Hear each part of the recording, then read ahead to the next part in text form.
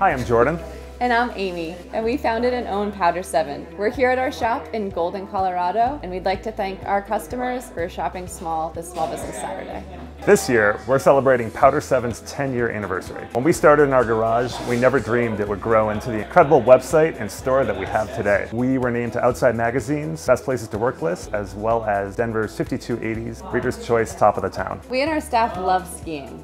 Skiing is all we do at Powder 7, and nothing gets us more pumped up than a day out on the slopes. We love having our businesses niche, and we love sharing our expertise and passion with customers around the world, especially here in Golden, Colorado. We'd like to thank you for supporting Powder 7 and other small businesses on this Small Business Saturday.